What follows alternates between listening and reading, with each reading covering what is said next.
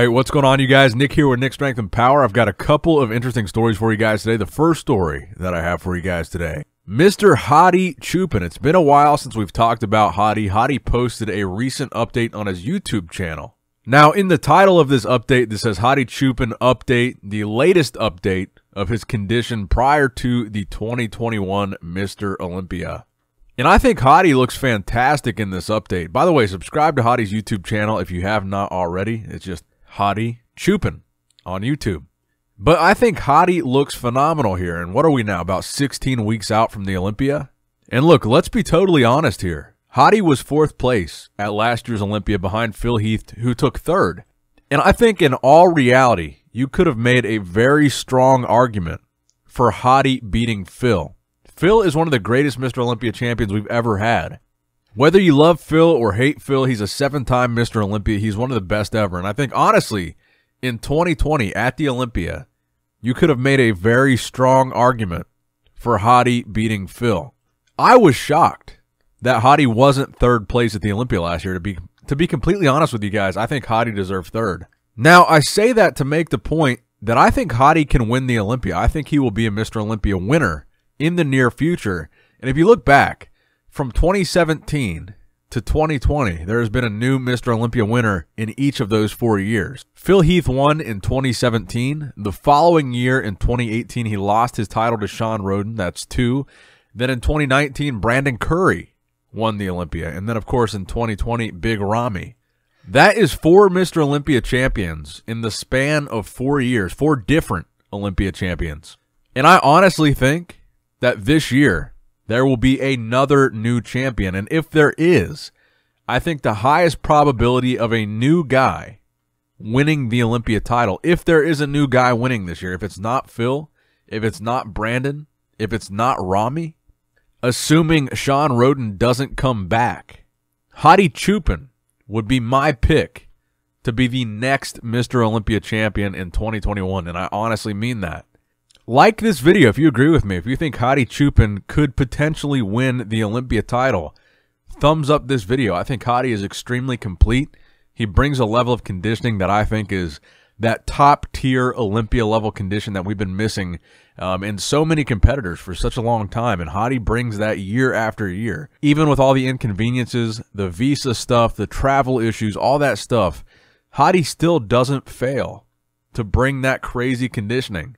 And on top of that, super muscular guy. He's about as muscular as you could be for a frame like Hadi has. So again, thumbs up the video if you want to see Hadi win the Olympia. And if not, comment in the comment section down below where you think Hadi will place at the 2021 Mr. Olympia. Now, next up in the news, let's talk about this latest physique update from Nick Walker. This side chest here, which I think is a direct response to all the beef that he has now with Sergio Oliva Jr. We know that Sergio has been very critical of the recent lineups in bodybuilding, saying they were weak lineups, including the New York Pro, which Nick Walker won. So Nick not only posted this physique update 17 weeks out from the Olympia, which he has already qualified for, of course, from that New York Pro victory, and he says in the caption, nothing weak is coming in 17 weeks.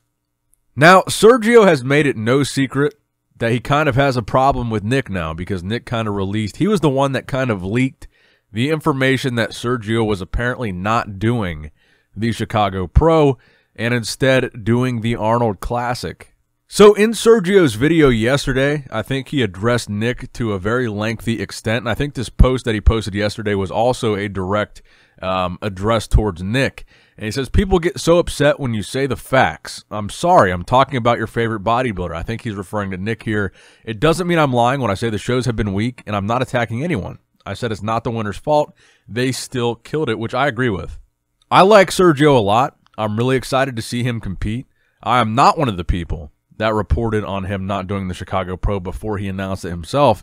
But I think one of the things that me and Sergio disagree on is I fully believe that Nick Walker has the potential to crack the top six or at least make the first call out at this year's Mr. Olympia. I fully believe that. And that is only if he brings New York Pro prejudging level conditioning or better to the Olympia. I fully believe he could crack the first call out. But Sergio, I don't think feels that way. And again, this post I think is directed a little bit towards Nick. He says, um, I'm not attacking anyone. I said it's not the winner's fault. They still killed it. I even said it's no one's fault, really. We all got screwed by the virus, so people are getting their lives together and couldn't do the beginning shows. But I just wanted to post this picture of Sas Harati when he got fifth at the New York Pro. This is what fifth looks like. And obviously, Sas Harati looks fantastic his conditioning is crazy. He looks like he's carved out of stone.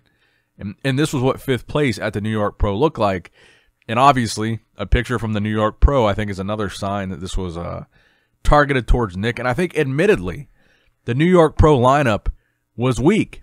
I think a lot of people would admit that they were disappointed by the conditioning that we saw in New in New York and by the number of competitors that we saw in New York. And this is is this not necessarily anybody's fault like Sergio is saying here, I think the virus kept a lot of people from being able to travel. Some of these shutdowns and lockdowns and restrictions, um, I think, kept a lot of people from being able to compete in New York that would have otherwise competed.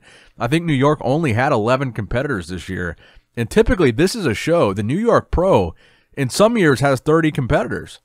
The New York Pro is a lineup that's usually 20, 25, 30, sometimes even more than that. And this year, I believe it was 10 or 11 total competitors. But I still got to say, even given the weak lineup, I still feel that Nick absolutely nailed it. He did exactly what he needed to do, regardless of the rest of the lineup. I think Nick looked fantastic. He looked way better than he looked at the Chicago Pro last year. His conditioning was better. He had such deep separation in his legs. He had all this crazy detail. And of course, he's got the mass. I think Nick really did nail it. And I think if he can nail it like that or better at the Olympia, I really do think he could make the first call out. Now, I believe in Sergio's video, he said he had Nick uh, maybe in the 7 through 10 position at best. And I would probably agree that's the most likely scenario. I think Nick could crack the top six. Will he is another question. 7 through 10 is probably a more realistic placing for your first Olympia if you're a fantastic bodybuilder, which Nick is. But I got to say, I would really love to see Nick versus Sergio at the Arnold Classic a couple weeks prior to the Olympia. I think that would be an awesome rivalry. And so far, Nick has a really good track record with his rivalries when it comes to actual contest placings, and Sergio is certainly no slouch. Now, next up in the news, Hunter Labrada. Six weeks out from the Chicago Pro, which is the main show that we've been talking about the past couple of days. The show that Sergio is not doing that caused all this drama that we've been talking about the past couple of days, Hunter is still doing that show. Akim is still doing that show. Charles Griffin is still doing that show.